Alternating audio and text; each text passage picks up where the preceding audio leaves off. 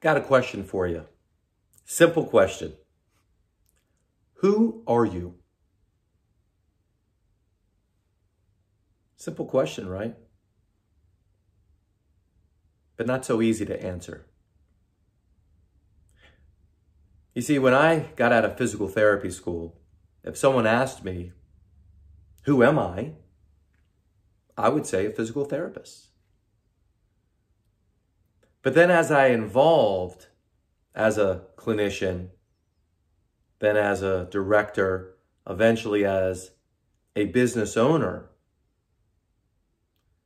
that who am I took on a different meaning.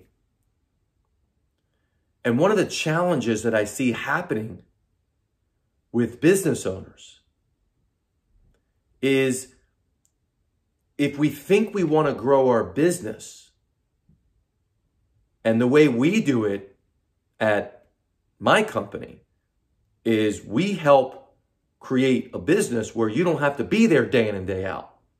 You don't have to even be a clinician if you don't want to. You don't have to be the administrator and the manager.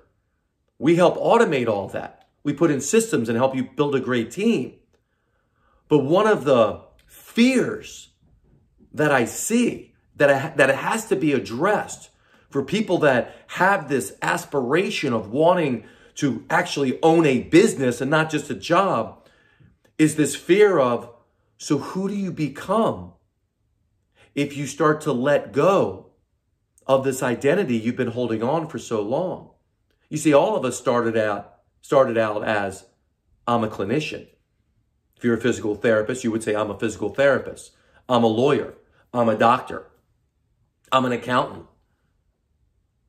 But what happens when you create a business that gives you time, that gives you money, that gives you kind of the life that you really want? But it starts to mess with you a little bit because it starts to change your identity of who you are or who you thought you were. Because you're so much more than just a clinician. You are so much more powerful than that. You have so much more to offer than that. But can you accept it? Because if you can't accept it, no matter of all the strategies and ways and tactics that you can be taught, you're not going to go to that level because you don't see yourself as a business owner. You may see yourself as a clinician. And there's nothing wrong with being a clinician. The problem is is you're trying to grow a business and the business needs a leader and you're that leader. So if you're having difficulty growing your business, growing your practice, creating a business that has a awesome team and some processes that ha- helps optimize what you're doing and becomes efficient so you can make the money that you want. And believe me, even in today's trying times, you can still make the money that you want. Then you want to ask yourself, am I sabotaging this effort because I'm afraid of the identity of who I am.